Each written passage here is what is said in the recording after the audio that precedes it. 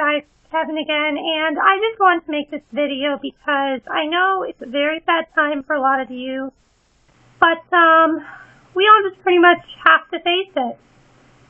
Cory Monteith is dead. If you guys didn't already know, he recently just passed away. And it happened in a hotel room in Vancouver, and um, some people are saying drug use, and the first thing I'm going to say is that don't make stuff up when it hasn't already been confirmed. There's going to be an autopsy tomorrow, so we don't know what's going what actually caused it until tomorrow. But I just want to make this video because one, you know, Glee is one of my favorite shows. I love reviewing it. I love watching it week to week, and definitely Cory made a lot of the show. And one of the ways he made a lot of that show was the chemistry he had with all the characters. I mean, he had a scene with every single one of the characters in the show and he had chemistry with every single one of those characters, especially Lea Michele. Um, and he was just such an amazing actor. Um, I'm gonna go back to like 2009 when I first saw him on TV, and he was singing "Don't Stop Believing." I'm like, this guy's gonna go far, and he really did. He was incredible. Last season, though, they were not safe to his character. I do remember seasons two and three, though, when Finn and Rachel were the only parts of the show I really cared about. Um, I didn't really like Santana yet. Didn't really like Kurt yet. But then seasons two and three, that's when I started to like more of the characters. Seasons one and two, though, I didn't care about anything except Rachel and Finn. Um, so yeah. And they really did make a big part. You guys know Finchel's my OTP. I mean, and now I'm just very upset that it's going to happen because they're going to kill off Finn Hudson probably. And if they kill off Finn, though, maybe they can bring Jesse back. Um, you know, maybe Jonathan Groff can come back and spend and have scenes with Rachel. You know, because they were great together in season one. Whenever they had scenes together, they're the next best thing. I mean, so. And I feel so bad for Lea right now. Now, Lea, I know that you are hurting right now. And I just really hope that this doesn't make Lea like kill herself or something because she's devastated right now and she's just extremely upset. And the saddest part here is that the two of them were supposed to get married in two weeks. Now she's going to be playing for a funeral. He's going to be dead.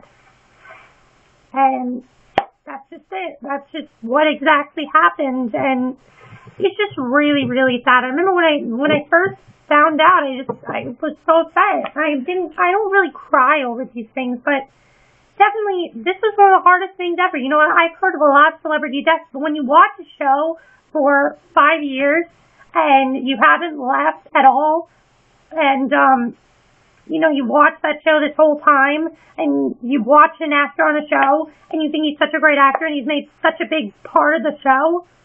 I was crushed.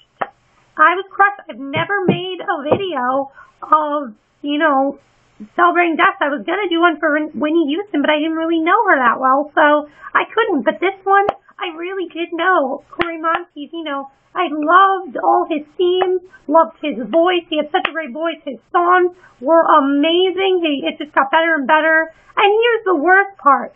The last scene that Finn and Rachel had together was through a telephone in episode 19, Sweet Dreams one of the worst episodes of the season. Um, and it was because the way it was done. And I, I, at the time, I thought it was a good episode, but now I think it's a bad episode because it just didn't give Finn any closure, and they're not going to give him any closure now because he's dead. The only way to do that is to kill him off. And the sad thing is, Finn and Rachel were supposed to have a lot of scenes together this season. They were supposed to be getting back together this season. This is going to be the season where they stay together, there'll be no more of them, you know, just there there'd be no more of them um you know, on and off, they'd be just on, basically, and they'd stay together. Now though, Rachel's gonna get a new boyfriend, she's gonna be crushed over Finn, um Lea Michele is still okay, and I just really hope Lea Michele you know, I really hope Lea Michele's okay about this. Everyone needs to pray for her. And it's such a sad day today. It's not just Cory Monteith. I mean, Kyle Massey has uh, cancer. Um, the Zimmerman trial, you know, uh, Zimmerman was found not guilty. Uh, Max the dog was shot. Ariana Grande apparently has some type of um has some type of um lung disease. It's just a crazy day. What is going on? It just made the day so sad. I I know Sunday's supposed to be like a religious holiday, a religious day, but this is not what I this is not what I needed today. It just really upsets me. I mean, I've had a really hard um last couple of days. First, my computer wasn't working. I had to take it back to Best Buy, and now my modem's not working. There's a power guy here right now trying to fix the modem. And then this happened. So I don't really know. I mean, I'm just glad that I really hope they give Glee a nice funeral episode for Finn. That's gonna be such a hard episode to watch, but Cory Monteith, you'll never be forgotten. Um, just rest in peace. We all will always remember you. You've been such a big part of Glee, and your your just your presence on Glee will never die. It's not going to be the same without you. Um, we're gonna miss you, and you should have just he should have just left Glee last year because they were not nice to him at all last year.